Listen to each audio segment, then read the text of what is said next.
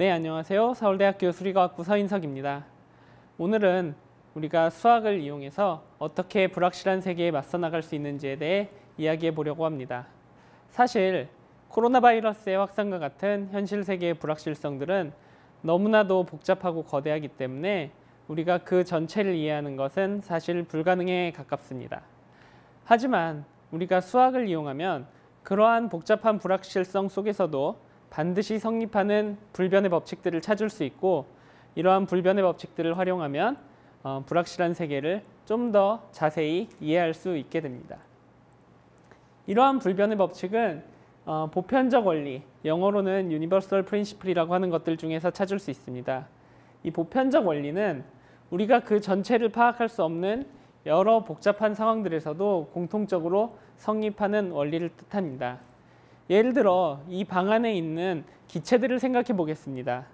여러분들이 만약 이 방 안에 있는 모든 기체 분자의 움직임 전체를 각각 다 이해하려고 하면 상황이 너무 복잡해져서 사실 모두 이해하는 것은 불가능합니다. 그렇기 때문에 우리가 기체를 공부할 때는 기체 분자 움직임 각각을 이해하려고 하지 않았습니다. 오히려 기체 분자가 어떻게 움직이든 상관없이 반드시 공통적으로 성립하는 법칙들을 찾아서 공부하려고 했었죠. 바로 이런 법칙들이 보편적 원리의 예들이라고 할 수 있겠습니다. 오늘은 이러한 보편적 원리 중에서도 불확실한 상황 속에서도 성립하는 이런 예들을 살펴보려고 합니다. 이런 예들은 상황에 상관없이 반드시 성립해야 하기 때문에 수학의 세계에 있는 잘 정돈된 불확실성뿐만 아니라 현실 세계의 매우 거칠고 복잡한 불확실성 속에서도 반드시 성립해야 합니다.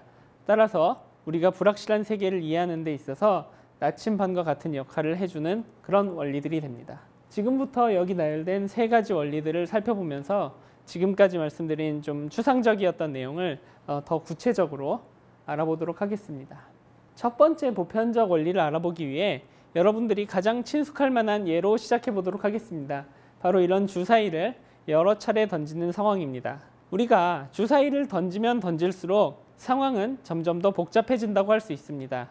왜냐하면 우리가 주사위를 한 번 던졌을 때 나온 눈이 4일 확률은 무엇이냐라고 누가 물어보면 6분의 1이라고 바로 대답할 수 있지만 누가 주사위를 100번 던졌을 때 나온 눈들의 합이 400일 확률은 몇이냐라고 물어보면 은 우린 이 질문에 대답하는데 훨씬 많은 시간이 필요하기 때문입니다. 이처럼 주사위를 던지면 던질수록 상황은 점점 더 복잡해지는데 우리는 그 안에서 그 상황을 이해하기 위해 필요한 나침반과 같은 어, 정확한 정보를 찾아내기가 더 어렵지 않을까 생각할 수도 있습니다. 하지만 사실은 그렇지 않습니다. 오히려 주사위를 던지면 던질수록 점점 더 명확해지는 값이 하나 있습니다.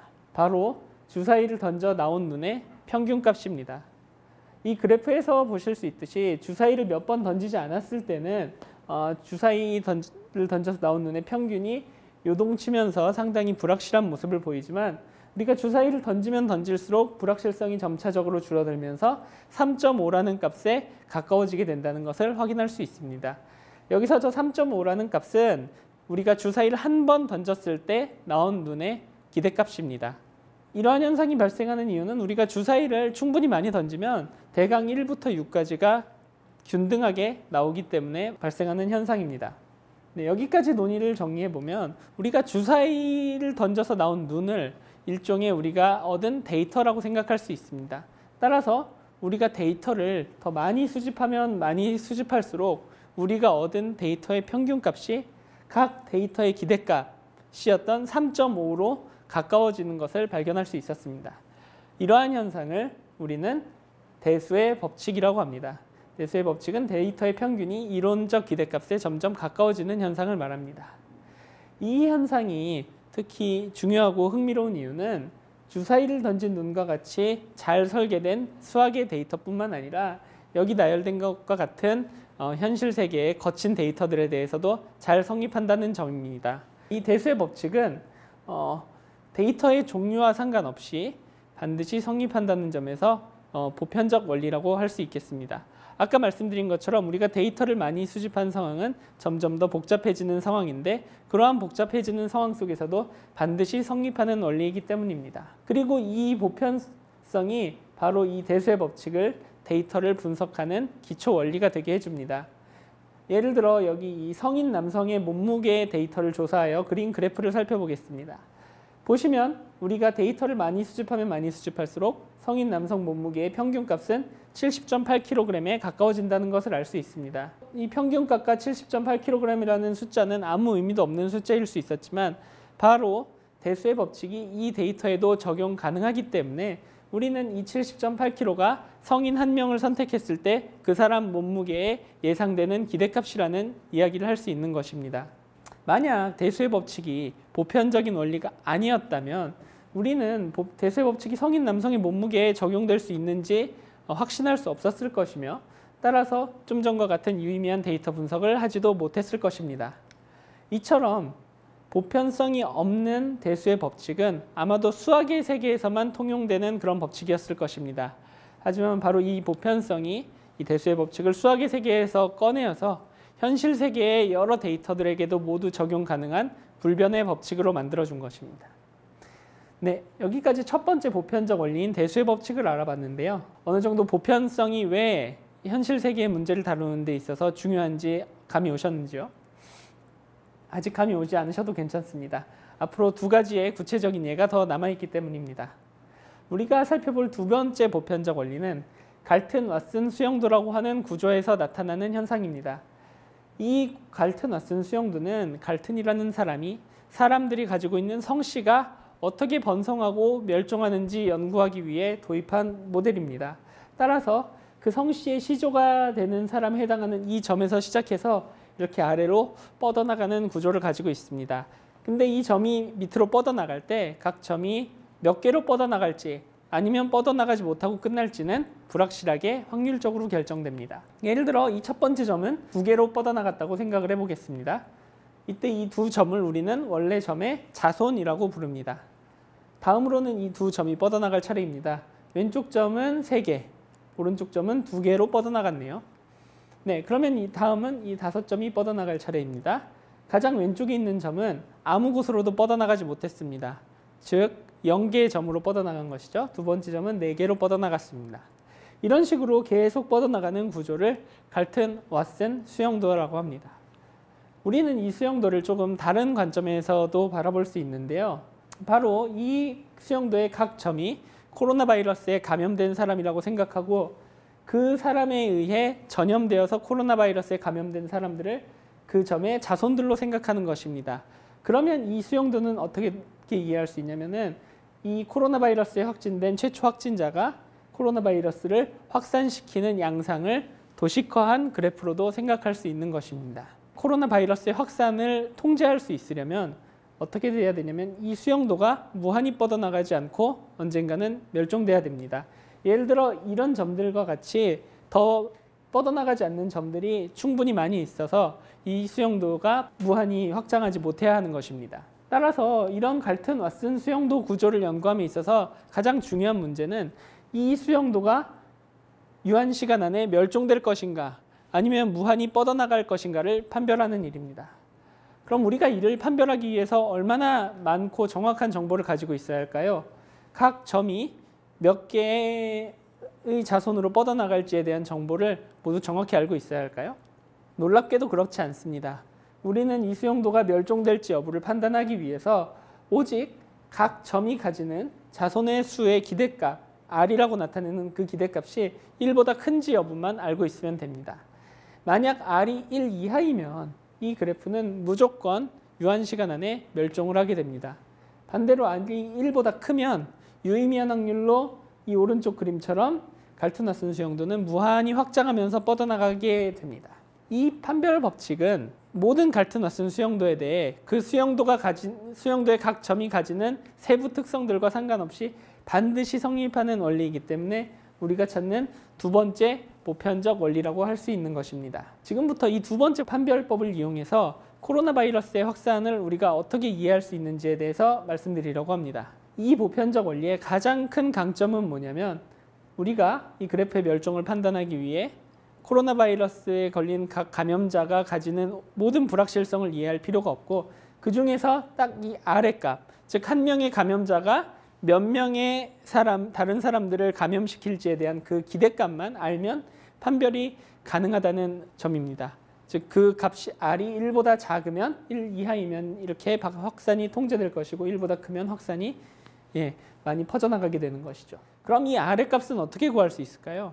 실제로 방역 상황에서 이 r의 값을 감염 재생산 지수라고 부릅니다. 그리고 이 감염 재생산 지수는 이와 같은 공식으로 구할 수 있는데요. 어, 따라서 이 r의 값은 정해진 값이 아니라 정부의 방역 대책과 시민의 참여에 따라 변화하는 값입니다.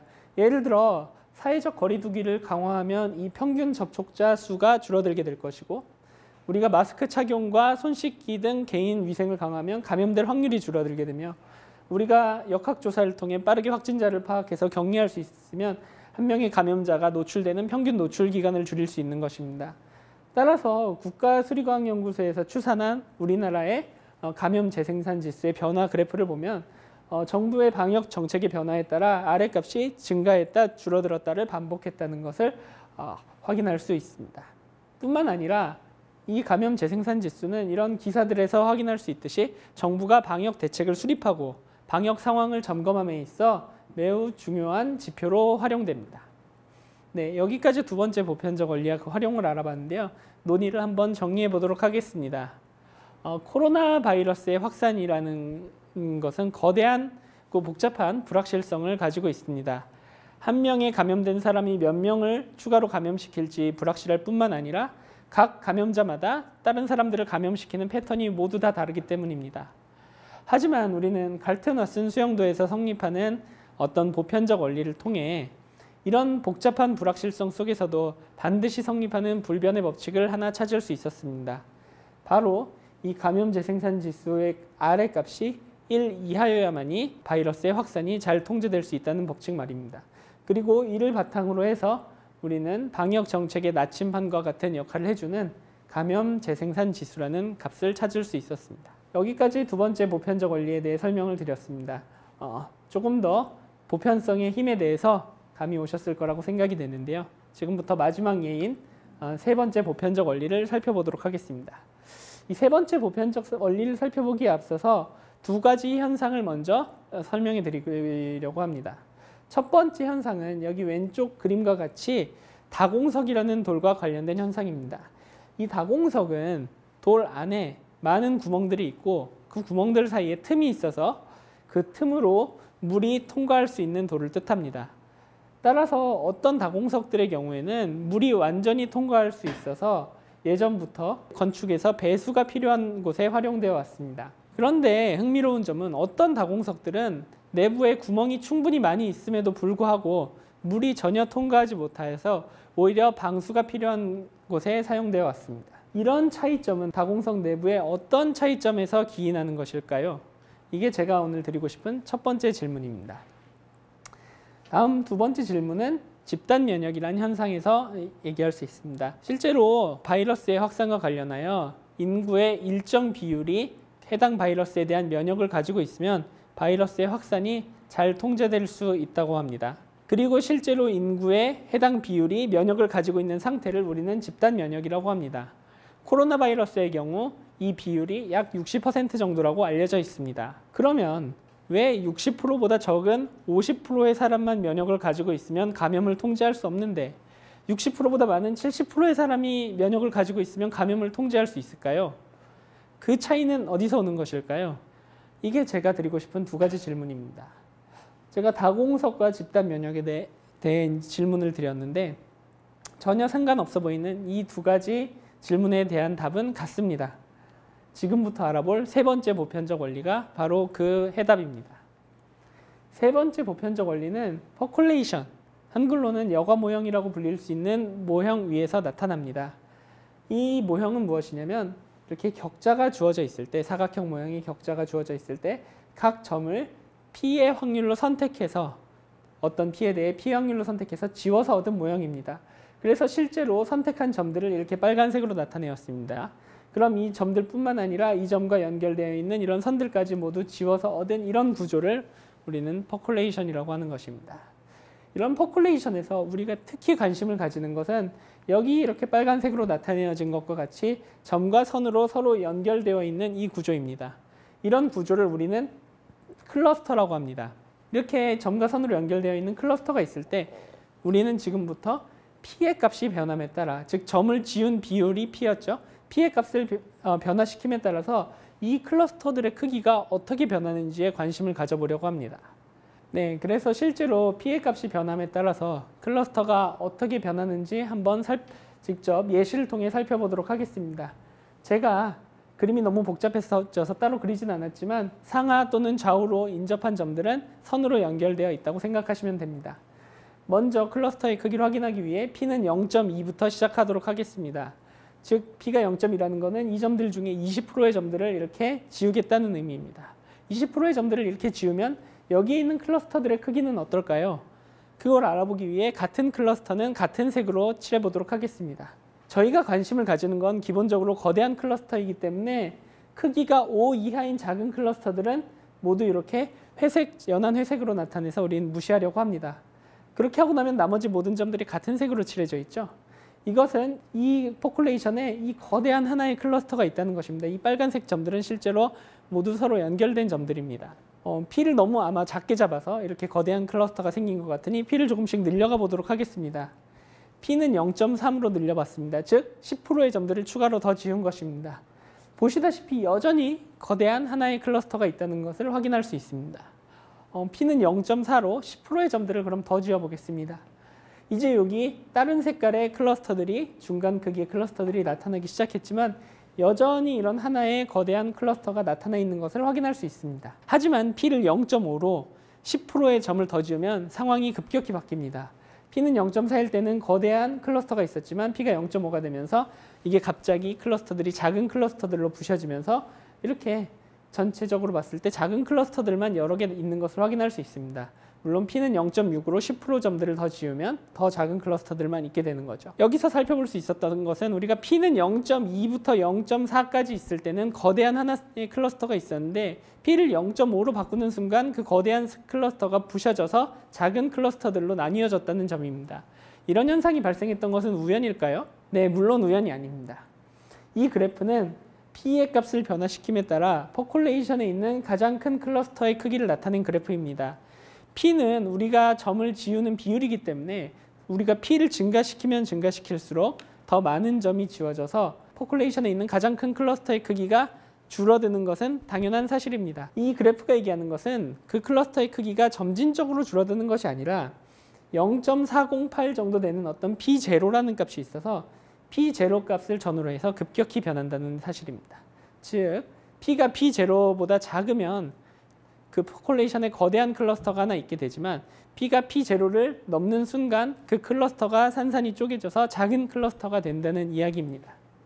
이는 우리가 앞선 슬라이드에서 본 것처럼 P가 0.2부터 0.4까지는 거대한 클러스터가 있다가 0.5가 되는 순간 그 클러스터가 부셔졌던 것을 관찰한 현상과 부합하는 그래프입니다. 이런 현상은 어, 수학적 직관으로는 놀라운 일이라고 볼 수 있지만 현실 세계에선 흔히 나타나는 현상입니다. 예를 들어서 우리가 물의 온도를 점점 높인다고 생각을 했을 때 물이 0도부터 99도까지 올라가면서는 전혀 끓지 않지만 99도에서 100도가 되는 순간 갑자기 물이 끓어오른다는 사실을 여러분들께서는 잘 알고 계실 것입니다. 이 상, percolation이 보이는 이 현상은 그 현상과 아주 유사한 현상이라고 생각할 수 있습니다. 따라서 어, percolation이 보이는 이런 현상을 우리는 물이 액체에서 수증기로 바뀌는 현상 같은 것을 부르는 이름인 상전이 현상이라고 부릅니다. 이 상전이 현상이 특히 흥미로운 이유는 우리가 지금까지 보았던 사각 격자를 생각했기 때문에 나타나는 현상이 아니라는 것 때문입니다. 여기 나타난 것처럼 삼각 격자, 벌집 모양 격자 아니면 그 어떤 다른 모양의 격자를 가져와서 생각을 해도 상전이 현상은 여전히 나타납니다. 물론 이 격자의 구조마다 분기점이 되는 P0 값은 바뀝니다. 하지만 바뀌지 않는 것은 P0의 값을 전후로 하여 거대한 클러스터의 존재 여부가 급격히 바뀐다는 사실입니다. 이런 상전 현상은 격자의 모양과 상관없이 반드시 발생한다는 점에서 우리가 찾는 세 번째 보편적 원리라고 할 수 있습니다. 지금부터 이 세 번째 보편적 원리인 상전이 현상을 이용해서 아까 처음에 질문 드렸던 두 가지 질문에 대해 답을 해보도록 하겠습니다. 네, 첫 번째 질문은 왜 어떤 다공석들을 내부로는 물이 잘 통과하는데 다른 다공석들은 내부에 구멍이 많이 있음에도 불구하고 물이 잘 통과하지 못할까 하는 질문이었습니다. 실제로 퍼콜레이션은 정확히 이 질문에 답을 하기 위해 고안된 모델로서 다공석의 내부 구조를 묘사하는 어, 그런 구조입니다. 물론 우리가 다공석의 내부가 어떤 격자의 퍼콜레이션에서 얻어졌는지는 알 수 없습니다. 또한 다공석마다 다 다를 것입니다. 하지만 우리가 확실히 아는 것은 상전이 현상이 이 구조에 나타난다는 점입니다. 다시 말하면은 이 내부에는 거대한 클러스터가 존재하거나 이 왼쪽 돌처럼 오른쪽 돌처럼 작은 클러스터만 존재하게 되는 것입니다. 따라서 이 돌 위에 우리가 이렇게 물을 붓는다고 생각하면 거대한 클러스터가 존재하는 경우에는 물이 인접한 구멍, 즉 클러스터를 통해 아래로 통과되겠지만 오른쪽과 같이 작은 클러스터만 존재하면 물이 표면에서 거의 침투하지 못하게 되는 것입니다. 다공석이 물을 잘 통과시킬 수 있는 다공석과 잘 통과시키지 못하는 다공석의 차이점에 대한 이해는 우리가 상전이 현상이라는 보편적 원리로부터 해낼 수 있습니다. 다음으로 두 번째 질문이었던 집단 면역의 원리를 알아보도록 하겠습니다. 바이러스는 여러분들께서 잘 아시다시피 사람 간의 접촉을 통해서 전파됩니다. 따라서 사람들의 접촉을 나타내는 네트워크 구조를 이와 같이 편의상 그래프로 나타내 보았습니다. 이처럼 바이러스가 확산될 때 초록색으로 표시된 점들에 해당하는 사람들은 면역을 가지고 있는 사람들입니다. 어, 바이러스는 이런 면역을 가진 사람들에게는 전파되지 않기 때문에 이 바이러스의 전파 경로에서 이 점들은 제거를 해주어야 합니다. 그래서 이 점들을 제거하여 얻은 이 구조가 바로 percolation이 되는 것입니다. 만약에 면역을 가진 사람의 비율이 P였으면 우리는 또 P의 비율로 점들을 지워서 얻은 percolation이 되는 것입니다. 그리고 바이러스는 분명히 이 percolation에 있는 서로 연결된 클러스터를 통해 확산을 하게 될 것입니다. 따라서 우리가 이런 감염 확산을 잘 통제할 수 있는지는 이 클러스터에 거대한 이런 거대한 클러스터가 있느냐 아니면 작은 클러스터들만 있느냐 여부로 결정할 수 있을 것입니다. 따라서 이 클러스터 이 percolation의 그 분기점이 내주는 상전이 현상의 분기점이 돼주는 그 값을 여전히 P0라고 하면 사람들의 면역 비율이 P0보다 이상이어서 우리가 얻은 이 percolation에 작은 클러스터들만 존재해야 바이러스의 감염 전파를 어, 소규모로 통제할 수 있게 될 것이고 결국에 집단 면역을 달성할 수 있는 것입니다. 따라서 이 P0 값이 바로 집단 면역이 필요한 면역 보유자의 비율이 됩니다. 실제로 코로나 바이러스의 경우 아까 말씀드렸다시피 60%가 약 60% 정도가 이 P0라고 하는데요. 그러면은 60% 이상의 사람들이 코로나 바이러스에 대한 면역을 가지고 있어야만 어, 바이러스가 소규모로 잘 통제되고 60%보다 적은 비율이 가지고 있으면 여전히 거대한 클러스터가 존재하기 때문에 감염 확산 통제에 있어서 효과가 제한적이라는 것을 알 수 있습니다.